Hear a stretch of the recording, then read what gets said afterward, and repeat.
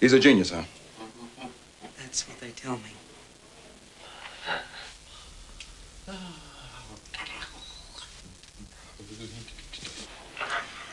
Well, he looks like a fruitcake to me.